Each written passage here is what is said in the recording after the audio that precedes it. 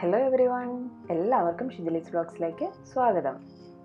ഇന്ന് നമ്മൾ തയ്യാറാക്കാനായിട്ട് പോകുന്നത് കുടംപുളിയൊക്കെ ഇട്ട് വറ്റിച്ചെടുത്ത കല്യാണത്തിനൊക്കെ വിരുന്നിനൊക്കെ കിട്ടുന്ന മീൻകറി ഇല്ലേ ആ രീതിയിലുള്ള മീൻകറിയാണ്. ഇത് തയ്യാറാക്കി എടുക്കാനായിട്ട് അധികം സമയമൊന്നും വേണ്ട. പെട്ടെന്ന് തന്നെ തയ്യാറാക്കി എടുക്കാനായിട്ട് പറ്റും. ഞാനിവിടെ അര കിലോ മീൻ കഴുകി വൃത്തിയാക്കിയിട്ട് ചെറിയ കഷ്ണങ്ങളായിട്ട് മുറിച്ചെടുത്തിട്ടുണ്ട്. ചെറിയ കഷ്ണങ്ങളായിട്ട് മുറിച്ചെടുക്കുമ്പം അതിലേക്ക് ഉപ്പും എരിവും ഒക്കെ നന്നായിട്ട് പിടിക്കും. അതുകൊണ്ടാണ് അങ്ങനെ മുറിച്ചെടുത്തത്. പിന്നെ ഇതിലേക്കായിട്ട് ഒരു പത്ത് വെളുത്തുള്ളിയും ഒരു ചെറിയ കഷ്ണം ഇഞ്ചിയും കൂടെ നന്നായിട്ട് ചോപ്പ് ചെയ്തെടുത്ത് വെച്ചിട്ടുണ്ട്. പിന്നെ ഇതിലേക്ക് ഒരു ചെറിയൊരു തക്കാളിയും വേണം. അധികം പുളിയില്ലാത്ത തക്കാളിയാണെങ്കിൽ അതായിരിക്കും നല്ലത്. ഇനി ഇതിലേക്ക് വേണ്ടത് കുടംപുളിയാണ്. ഞാൻ കുടംപുളി ഒരു ഇരുപത് മിനിറ്റ് അര ഗ്ലാസ് വെള്ളത്തിൽ കുതിർത്ത് വെച്ചിട്ടുണ്ട്. ഇനി നമുക്ക് ആദ്യം കറിയിലേക്ക് വേണ്ട ഗ്രേവി ഒന്ന് തയ്യാറാക്കിയെടുക്കാം. മീൻകറി ചട്ടിയിൽ തന്നെയാണ് ഉണ്ടാക്കുന്നത് കേട്ടോ. ഇത് ഗ്രേവി ഒന്ന് ഇതിൽ തയ്യാറാക്കിയെടുക്കുന്നത് മാത്രം.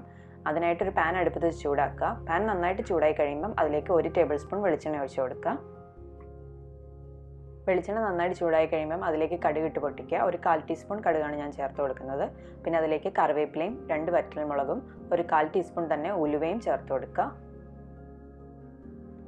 ചിലർക്ക് കറിയിൽ ഒരുപാട് കടുകുള്ളത് ഇഷ്ടമാണ്. ഞങ്ങളുടെ ഇവിടെ ആർക്കും അങ്ങനെ അത്ര താല്പര്യമില്ല. അതുകൊണ്ടാണ് ഞാൻ കുറച്ച് കടുക് മാത്രം ചേർത്തത്. ഇങ്ങനെ തയ്യാറാക്കി എടുക്കുന്ന മീൻകറിയിൽ നമ്മൾ ചെറിയുള്ളിയോ അല്ലെങ്കിൽ സവോളയോ പച്ചമുളകോ ഒന്നും ചേർക്കില്ല. മല്ലിപ്പൊടിയും ചേർക്കില്ല. അതാകുമ്പോൾ കേടുകൂടാതെ രണ്ടോ മൂന്നോ ദിവസം തന്നെ ഇരിക്കും. നല്ല ടേസ്റ്റുമാണ് ഇത് കഴിക്കാനായിട്ട്. കടുക് ഉലുവയൊക്കെ നന്നായിട്ട് പൊട്ടിക്കഴിയുമ്പോൾ നമുക്കിതിലേക്ക് ചോപ്പ് ചെയ്ത് വെച്ചിരിക്കുന്ന വെളുത്തുള്ളി ഇഞ്ചിയും ചേർത്ത് കൊടുക്കാം. ഒരു പത്ത് പന്ത്രണ്ട് വെളുത്തുള്ളിയും ഒരു ചെറിയ കഷ്ണം ഇഞ്ചിയും ഒന്നെങ്കിൽ നന്നായിട്ട് ചതച്ചിട്ടെടുക്കുക. അല്ലെന്നുണ്ടെങ്കിൽ തീരെ പൊടിയായിട്ട് അരിഞ്ഞെടുത്താലും മതി. വെളുത്തുള്ളി ഇഞ്ചിയും ഈ വെളിച്ചെണ്ണയിൽ കിടന്നിട്ട് നന്നായിട്ട് മൂത്ത് വരണം. ബ്രൗൺ കളർ ആവുമൊന്നും വേണ്ട. എങ്കിലും ഇതിന്റെ പച്ചമണമൊക്കെ മാറി നന്നായിട്ടൊന്ന് മൂത്ത് വരണം.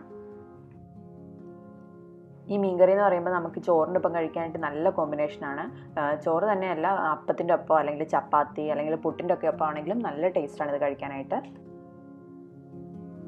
കറിയിലേക്ക് ആവശ്യത്തിനുള്ള ഉപ്പ് ഇതിന്റെ ഒപ്പം തന്നെ ചേർത്ത് കൊടുക്കുക.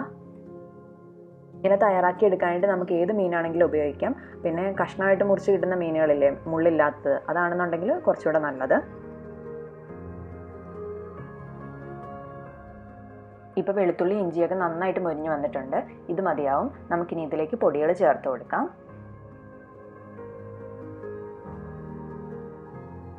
ഇതിലേക്ക് ഒരു അര ടീസ്പൂൺ മഞ്ഞൾപ്പൊടി ചേർത്ത് കൊടുക്കുക.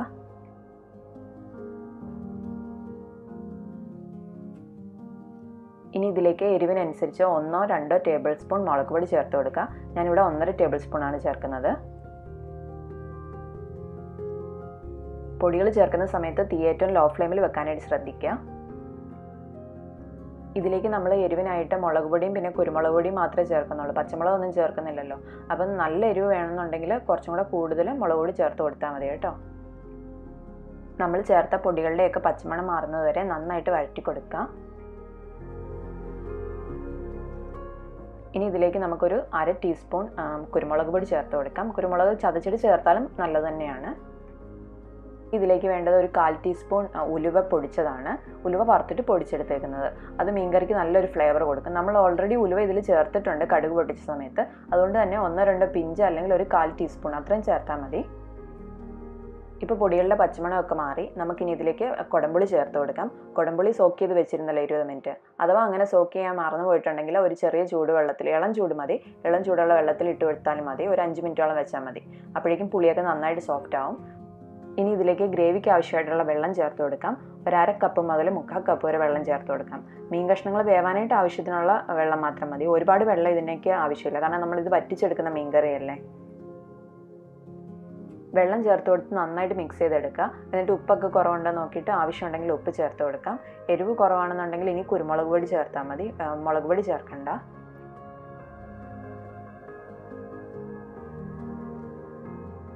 രണ്ട് മിനിറ്റ് കൊണ്ട് തന്നെ നമ്മുടെ ഗ്രേവി നന്നായിട്ട് തിളച്ച് തുടങ്ങും. നന്നായിട്ട് മിക്സ് ചെയ്തിട്ട് അത്യാവശ്യം നന്നായിട്ട് തിളച്ചതിന് ശേഷം നമുക്ക് തീ ഓഫ് ചെയ്തിട്ട് ഇത് മാറ്റി വെക്കാം.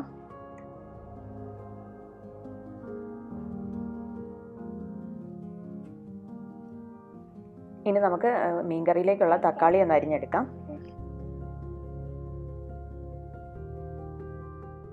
നമ്മളൊരു തക്കാളി ആദ്യം എടുത്ത് വെച്ചിരുന്നല്ലോ അത് ഇങ്ങനെ വട്ടത്തിലൊന്ന് അരിഞ്ഞെടുക്കുക. നമ്മളിത് ചട്ടിയിലേക്ക് ഇങ്ങനെ വെച്ച് കൊടുത്തിട്ടാണ് അതിന്റെ മുകളിലാണ് മീൻ കഷ്ണങ്ങൾ വെച്ച് കൊടുക്കുക. അപ്പോൾ ഒത്തിരി കനം പാടില്ല എന്നാൽ തീരെ കട്ടി കുറയാനും പാടില്ല. ആ ഒരു പരുവത്തിൽ തക്കാളി ഒന്ന് കട്ട് ചെയ്തിട്ട് എടുക്കുക.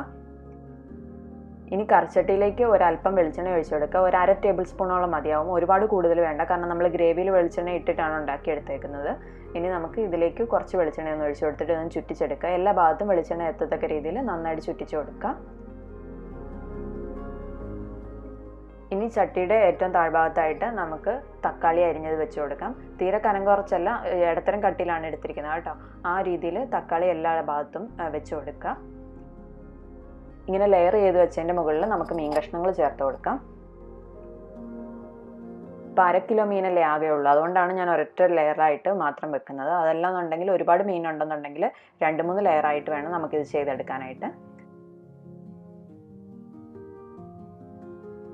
മീൻ മുഴുവൻ വെച്ച് കൊടുത്തതിന് ശേഷം നമുക്കിതിന്റെ മുകളിലേക്ക് നമ്മൾ തയ്യാറാക്കി വെച്ചിരിക്കുന്ന ഗ്രേവി ഒഴിച്ചു കൊടുക്കാം.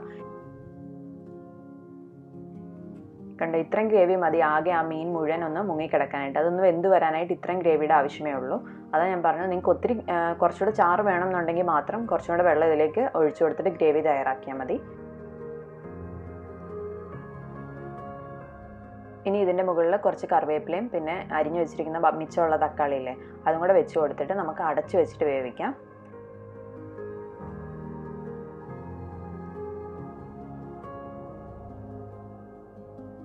തീ ലോ ടു മീഡിയം ഫ്ലെയിമിൽ വെച്ചതിന് ശേഷം ഒരു അഞ്ച് മിനിറ്റ് അടച്ചു വെച്ച് തന്നെ വേവിച്ചെടുക്കുക. ഇതുപോലെ മൺചട്ടിയിലൊക്കെ കറി വെക്കുമെന്ന് പറഞ്ഞാൽ നല്ലപോലെ ചൂട് നിൽക്കി ഈ ചട്ടിയിലൊക്കെ. അപ്പം നമ്മൾ ഈ സ്പൂൺ കൊണ്ടൊക്കെ ഇട്ട് ഇളക്കുമ്പോൾ അല്ലെങ്കിൽ തവി കൊണ്ടിട്ട് ഇളക്കുമ്പോൾ ഈ മീൻ കഷ്ണങ്ങളൊക്കെ പൊടിഞ്ഞു പോകാൻ സാധ്യതയുണ്ട്. അപ്പോൾ അതുകൊണ്ട് ഇതുപോലെ ഇങ്ങനെ ചട്ടി ഇങ്ങനെ ചുറ്റിച്ചു കൊടുത്താൽ മതി. അല്ലാതെ സ്പൂണോ അല്ലെങ്കിൽ തവി കൊണ്ടിട്ട് ഇളക്കി എടുക്കേണ്ട കാര്യമില്ല. ജസ്റ്റ് ഒന്ന് ചുറ്റിച്ചു കൊടുത്ത ശേഷം വീണ്ടും അടച്ചു വെച്ച് ഒന്ന് രണ്ട് മിനിറ്റും കൂടെ ഒന്ന് വേവിക്കുക. അതിനുശേഷം നമുക്ക് ഈ തക്കാളി ഒന്ന് ഏറ്റവും മുകളിൽ കിടക്കുന്ന തക്കാളി ഇങ്ങനെ പൊങ്ങി കിടക്കല്ലേ അത് ആ ഗ്രേവിയിലേക്കൊന്ന് ഇട്ട് കൊടുക്കണം. ഒരു സ്പൂൺ വെച്ചിട്ട് പതിയെ ആ തക്കാളി ഒന്ന് ആ ഗ്രേവിയിലേക്ക് ഒന്ന് ഇട്ട് കൊടുത്താൽ മതി. എന്നിട്ട് വീണ്ടും അടപ്പ് വെച്ച് അടച്ചു വെച്ചിട്ട് നമുക്ക് വേവിച്ചെടുക്കാം.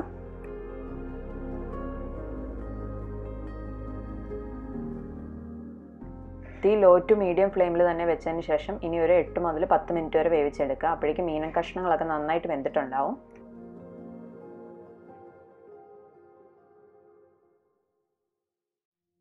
ഇടയ്ക്ക് കറി ഒന്ന് മിക്സ് ചെയ്ത് കൊടുക്കണം. ജസ്റ്റ് ഒന്ന് ചുറ്റിച്ചു കൊടുത്താൽ മാത്രം മതി.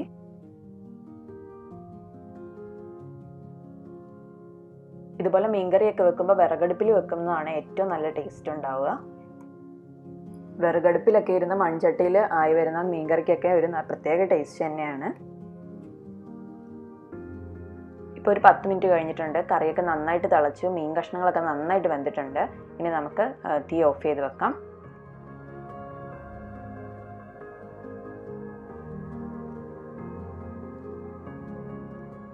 ഇങ്ങനെ തയ്യാറാക്കി എടുക്കുന്ന മീൻ പിറ്റേ ദിവസത്തേക്കാണ് ഏറ്റവും നല്ലപോലെ പുളിയും ഉപ്പും എരിവും ഒക്കെ പിടിച്ചിട്ട് നല്ല ടേസ്റ്റ് ഉണ്ടാവുക കഴിക്കാനായിട്ട്.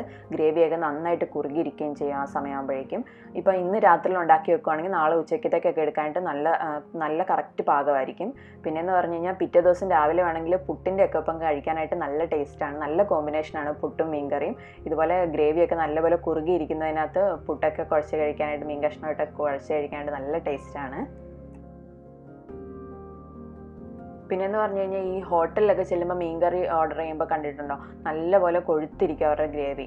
പിന്നെന്ന് പറഞ്ഞു കഴിഞ്ഞാൽ മീൻ കഷ്ണം വലിയ മീൻ കഷ്ണം ആണെങ്കിൽ പോലും പെട്ടെന്ന് മീൻസ് അവർ നമ്മൾ ഓർഡർ ചെയ്ത് ഒരു പത്ത് മിനിറ്റിനുള്ളിൽ അവർ ഉണ്ടാക്കി തരും. അപ്പോൾ അവരൊക്കെ എന്ന് പറഞ്ഞു കഴിഞ്ഞാൽ ഈ ഗ്രേവി ആദ്യമേ പ്രിപ്പയർ ചെയ്ത് വെക്കുകയാണ് ചെയ്യുന്നത്. അതിലേക്ക് ഫ്രീസ് ചെയ്ത് വെച്ചിരിക്കുന്ന മീനിട്ടിട്ട് ജസ്റ്റ് ഒന്ന് വേവിച്ചെടുക്കുക മാത്രമാണ് ചെയ്യുന്നത്. പെട്ടെന്നാവുകയും ചെയ്യും. കറി പെട്ടെന്നാവും. പക്ഷേ നമുക്കെന്ന് പറഞ്ഞു കഴിഞ്ഞാൽ വീട്ടിലേക്കൊക്കെ തയ്യാറാക്കി എടുക്കുമ്പം അത് ഒരു ദിവസം മുൻപ് അതായത് തലേദിവസം രാത്രിയിൽ ഉണ്ടാക്കുക അല്ലെങ്കിൽ തലേദിവസം ഉച്ചയ്ക്ക് ഉണ്ടാക്കിയിട്ട് പിറ്റേ ദിവസം രാവിലത്തേക്ക് എടുക്കുക അല്ലെങ്കിൽ പിറ്റേ ദിവസം ഉച്ചയ്ക്കത്തേക്ക് എടുക്കുന്നതാണ് നല്ലത്. പിന്നെ ഇതിലേക്ക് നമ്മൾ മല്ലിപ്പൊടി ചേർക്കുന്നില്ല ഉള്ളിയും സവോളയൊന്നും ചേർക്കുന്നില്ല. അതുകൊണ്ട് തന്നെ ഫ്രിഡ്ജിലൊന്നും വെക്കേണ്ട കാര്യമൊന്നുമില്ല. ഇത് പുറത്തുതന്നെ വെച്ചിരുന്നാൽ മതി. രണ്ട് മൂന്ന് ദിവസം വരെ കേടുകൂടാതിരിക്കുകയും ചെയ്യും. നല്ല ടേസ്റ്റാണ് കഴിക്കാനായിട്ടും. അപ്പോൾ നിങ്ങൾ എല്ലാവരും ഇതൊന്ന് ട്രൈ ചെയ്ത് നോക്കണേ. അടുത്ത തവണ മീൻകറി വെക്കുമ്പോൾ ഉറപ്പായിട്ട് ഇതുപോലെ തന്നെ വെച്ച് നോക്കാനായിട്ട് മറക്കരുത്. അതുപോലെ തന്നെ ഈ വീഡിയോ ഇഷ്ടമായിട്ടുണ്ടെങ്കിൽ ലൈക്ക് ചെയ്യാനും ഷെയർ ചെയ്യാനും കമന്റ് ചെയ്യാനും മറക്കരുത്. വേറൊരു വീഡിയോയുമായിട്ട് വീണ്ടും കാണാം. അതുവരേക്കും ബൈ ബൈ